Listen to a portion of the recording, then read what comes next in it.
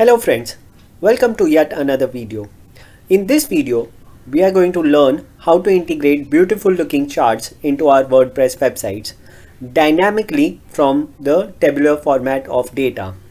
For this feature, we are going to use the chart builder plugin. You can find the link of that plugin in the description. First of all, you can install this plugin. After that, you can click on add new. As soon as you click on add new, you will get various options of charts. You can integrate line chart, bar chart, pie chart. You can also integrate a donut chart, org chart, geo chart, whatever types of chart you want to integrate. Let's select a pie chart uh, or let's select a column chart for this example.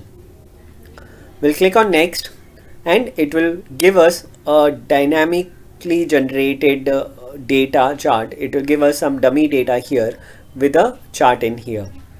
So uh, this is a manual way of adding the data in this uh, plugin. So where you can manually add columns and rows and uh, you can you know keep editing the information that you want. For example you want to change it to months and uh, maybe you want to change it to income and maybe expenses. So you can do that here you can uh, delete some of the rows if you want to. And uh, you can uh, simply add the months here. Jan the income is 100 expenses 80 Feb income is uh, 120 expenses 100 March income is 150 expenses 100 again. And you can click on show on chart and this information will come up in in a form of a beautiful chart here. Now this is one way of adding data where you can manually add the data. There are other dynamic ways of adding the data as well. For example you can directly connect it to the database. For this you'll require to have some knowledge of MySQL and MySQL queries. I recommend skipping this part if you are a non-coder so that's not something which you want to do Next, you can also import the data from a CSV file. You can select uh, a CSV file here. They've given an example CSV. You can uh, click on the example. You can simply download it. I'll download it here. It's already there though. So I'll open this CSV file. And here we can see again month, income, out, outcome, we can change it to expenses. Or if you want to make some other kind of uh, revenue and uh, net profit you can do that as well. So we'll just change that to revenue and net profit. Okay? And uh, we'll, we'll do it for four months 100 and uh, your profit can be 25 maybe 80 is a revenue and your profit is 50 dollars. Let's uh, change this to let's say 200 and your revenue net profit is 50 and uh, maybe 120 and your profit is only 20 so your csv is ready. Example one dot uh, csv this is the csv file name I can simply eh, import this I'll click on choose file I'll go to the downloads folder where I have saved this and I'll click on show on chart and we'll be able to see the revenue and the net profit in a form of a chart. So apart from that you can also connect the data directly from your Google Sheets. For this first of all you'll require to integrate your console account to your WordPress. Okay? So uh, please pay attention. This is uh, something which uh, takes some time for you and uh, you need to make sure that you pay attention to get it absolutely right. So first of all we'll go to this page. That is the integration page here in the setting. And uh, first of all we will require to go to the console.developer.google.com so I'll just uh, go there on that uh, specific uh, web page. Now if you have never been here this also helps you integrate your SMTP mail via Gmail with your website okay? So first of all on the top uh, you will be able to see some uh, project name. If you have never set up a project you will be able to see some new project name. So first of all you can click on the drop down you can select from any of the project or you can click on new project. So I recommend you click on the new project options there. You can rename this to whatever project name you want to give. So I'll just uh, rename it to chart builder. Uh, organization you can skip that step and you can click on create this may take a few seconds for your project to be created. Once it is created you can click on select project.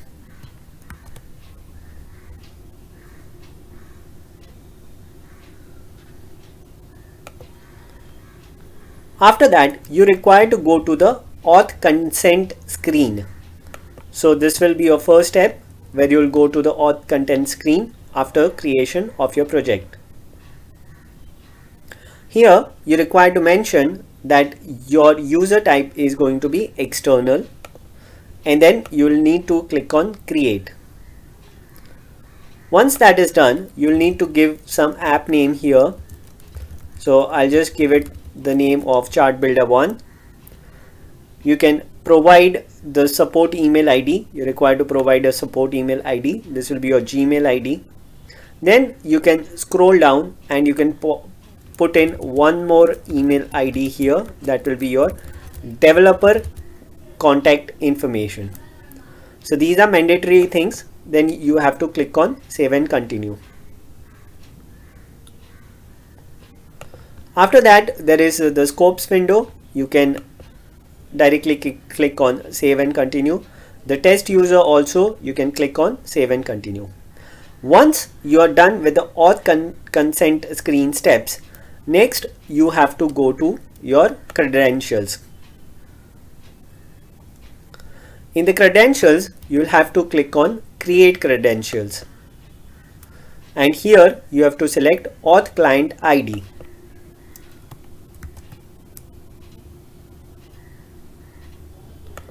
The application type will be web application since we are integrating this with our website. Next, you require to uh, uh, enter authorized redirect URI. This is something which you will get from this specific setting links here. You can copy it and you can paste it here. Next, you will click on create so it may take some time for this to be done. And then you will get your credentials. So you can just copy this your client ID you can uh, paste it here. And then you can also copy your client secret and paste it here. You need to make sure that these are not exposed to anyone. This is a dummy project. So I will uh, I'm showing it to you but otherwise you should not be doing that. Once that is done you can go back to the first tab that is enable API and services or you can also go to the library and you require to enable a few services here. So you, you require to search for Google Drive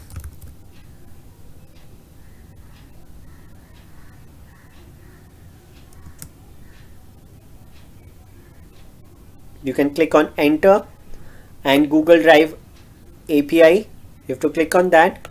You require to enable the Google Drive API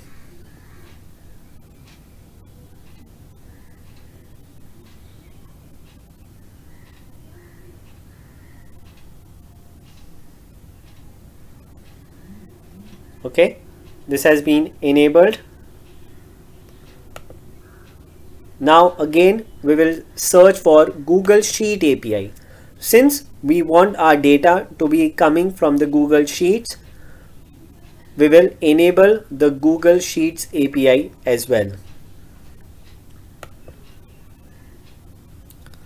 We'll click on that API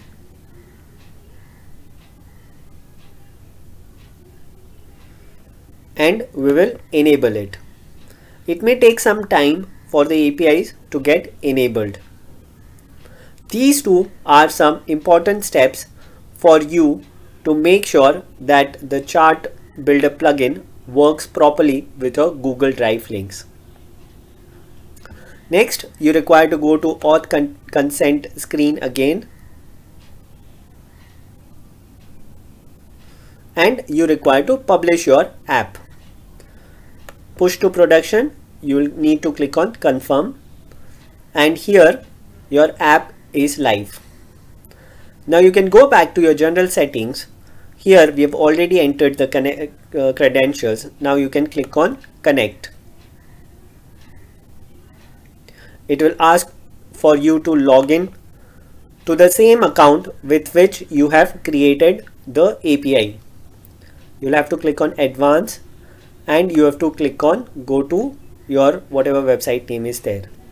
Now here you'll have to select all these options to make sure it works perfectly and then you can click on continue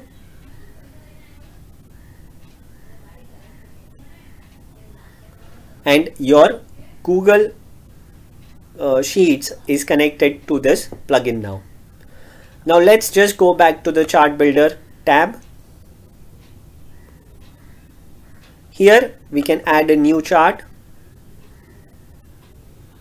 Let's select a donut chart and we'll click on connect to Google Sheet. Here now we can see all the sheets that are available. Let me just uh, create one dummy sheet for the testing purpose.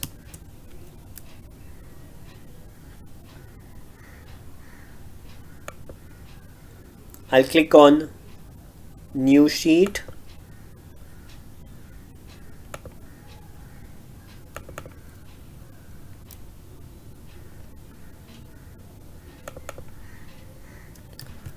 I'll name this as percentage of web traffic.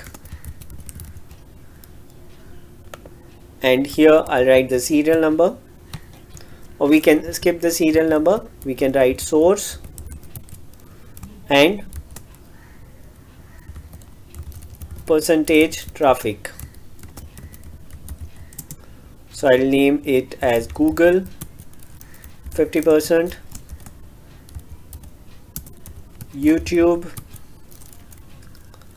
25% Facebook.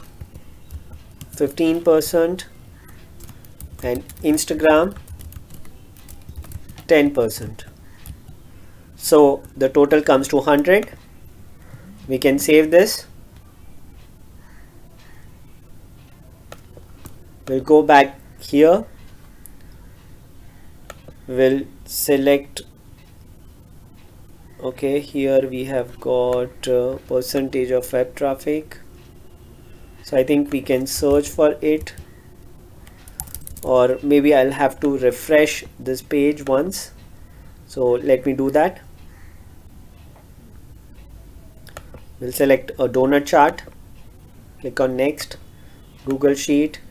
Percentage of web traffic is visible here. Now we'll click on show on chart. And here we have the data on the chart. We can go to the settings and we can change the styles whatever we want to we can change the tooltip legends whatever we want we can change from here.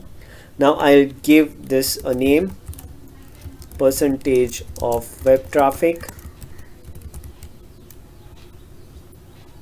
I'll click on save and close.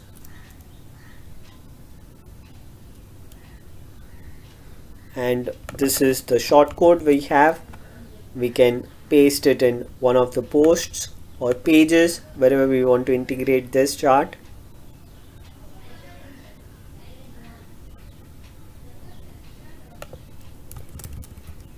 Charts.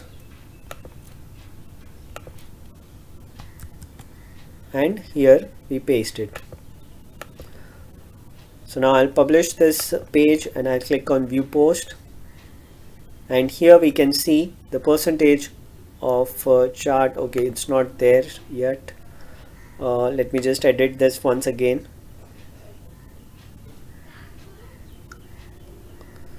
Okay I'll select Google Sheets here percentage of web traffic show results. Okay I'll click on save query. Show on chart. Now I'll click on save and close now let me refresh it and here we have the final results so we have got Google 50%, Instagram 10%, 15% from Facebook and YouTube.